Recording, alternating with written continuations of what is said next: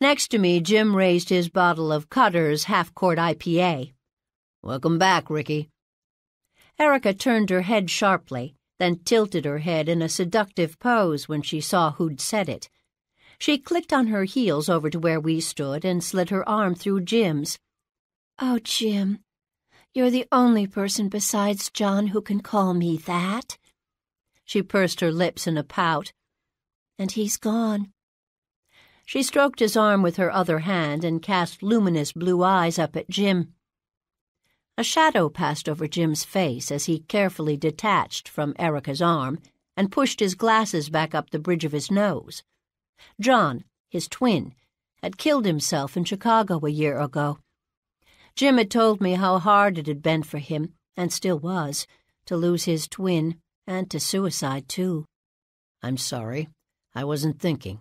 I'll call you Erica from now on. No, I want you to call me Ricky. Please? Jim cleared his throat.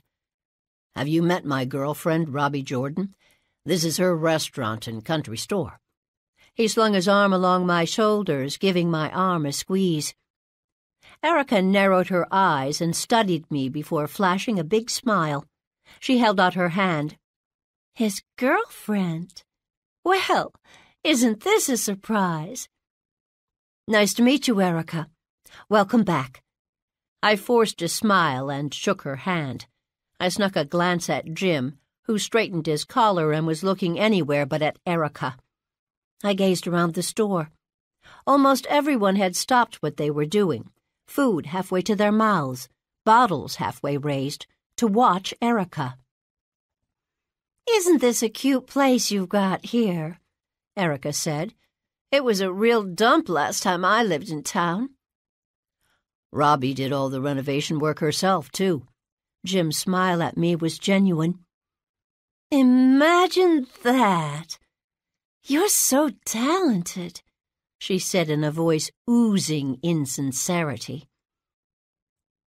I'll be bringing out some hot sliders in a minute, and the pizzas over there are probably still warm if you're hungry. Now, if you'll excuse me, I'll let you two have some time to catch up. I cast another quick look at Jim before heading to the kitchen area. And if that wasn't a panicked expression on his face, I don't know what was. Well, he was a big boy. He could handle his former sister in law. Or not.